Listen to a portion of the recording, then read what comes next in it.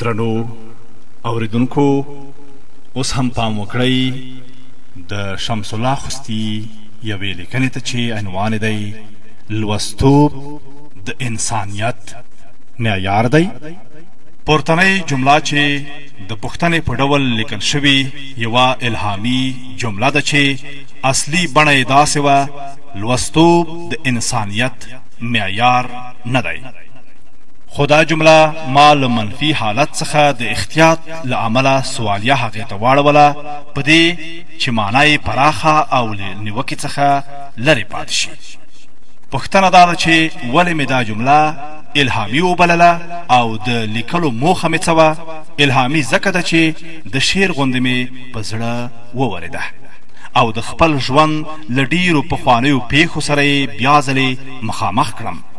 او په ویښه مې د یو شمیر تیرو کړنو خوبونه ولیدل او انځورونه یې راته سترګو سترګو ته شول ومې شلل او سل فکرونه یې را سره ملګري کړل او په پای کې مې دا جمله د شعر غوندې په زړه وورېده چې لوستوب د انسانیت معیار نه دی او په شعور سره مې ومنله د دې د منلو لامل او دلیل دا و چې په تېرو کړنو کې ما له دوو تنو سره شخړه کړې وه، هغه د کالونو مخکې شخړې مې ناڅاپه را په زړه شوې، نه پوهېږم ولې مې را یادې شوې، له دې امله چې د را یادېدو په لامل یې نه پوهېدم. د ویښې خوب لیدنې مې وبللې چې هر څرنګه را په یادې شوې وي، وي به، خو اصل خبره د پورتنۍ جملې ده چې ما الهامي بللې او الهامي ده. شخړې داسې وې چې له یو تن لوستي سره مې په نه خبره په ښوونځي کې خوله ترخه کړه، هغه ډېر پوه، ورسره مغرور او کینه کښ هم و. له دې امله مو تر ډېره یو له بل سره خبرې ونه کړې. ما څو ځلې د ستړي مشي لپاره لاس ور اوږد کړ، خو هغې به ځان داسې وښود چې ګنې نه مې یې لیدلی. وروسته به بل چا ورباندې غږ کړ چې پلانی لاس درکوي. نو په نه زړه به یې لاس راکړ له هغې وروسته به یې بیا هم راسره خبرې نه کولې نو د چا خبره چې زه هم پښتو ولي وم او له هغې وروسته مې ورسره ستړي مشي نه کوله له دې امله تر ډیر اوږده مهال یو بل سره ونه غږیدو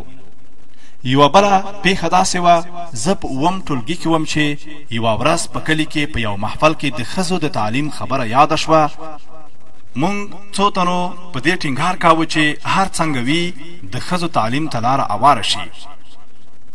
خو یو نالوستی تن و چې هغې دا دلیل وړاندې کاوه چې پر ښځو باندې زمونږ نیکونو هم تعلیم نه دی کړی دغه بحث دومره تود شو چې یو له بل سره خوابدي شو او په ځانګړي ډول د نورو په پرتله ما ور سره ډیر تود بحث وکړ نو له دې امله خوابدي هم زمونږ د دوو تنو ترمنځ راغله درېغه چې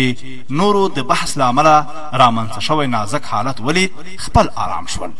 او بیا یې د چا پلوي ونه کړه په هر صورت دغه ورځ تیره شوه په سبا ورځ زه ښوونځي ته روان وم رحیم ګل ماما به زمونږ د کلي جومات مخې ته ناست و ما سلام ور واچاوه او ترې تیر شوم هغې له ښاره پسې غږ کړ زه د ده په غږ ودرېدم هغې له ځایه راپاڅېد او را روان شو او له را رسیدو سره سره یې را باندې غیږ بدله کړه زما مزاج شاعرانه و سترګې مې اوښکو ډکې شوې او په سلګیو مې ورته وویل ماما رانه خپه شوی خو به نه وي هغې راته وویل وراره ما وبښه زما اوښکې لا نور هم پسې ډېرې شوې نور مې د خبرې توان نه درلود داسې مهال و چې د شعر چینه مې تازه راخوټېدلې وه او نږدې تر دېرشو پورې مات ګوډ شعرونه به مې ليکلي وي. له دې پېښې وروسته مې د ښوونځي په لار کې سملاسي يو شعر وليکه، شعر اوږد دی، خو يو بيت چې له دې موضوع سره پيوند و، داسې و. ستا په يوه نرۍ مسکا مې له زړګي نه ګيلې ټولې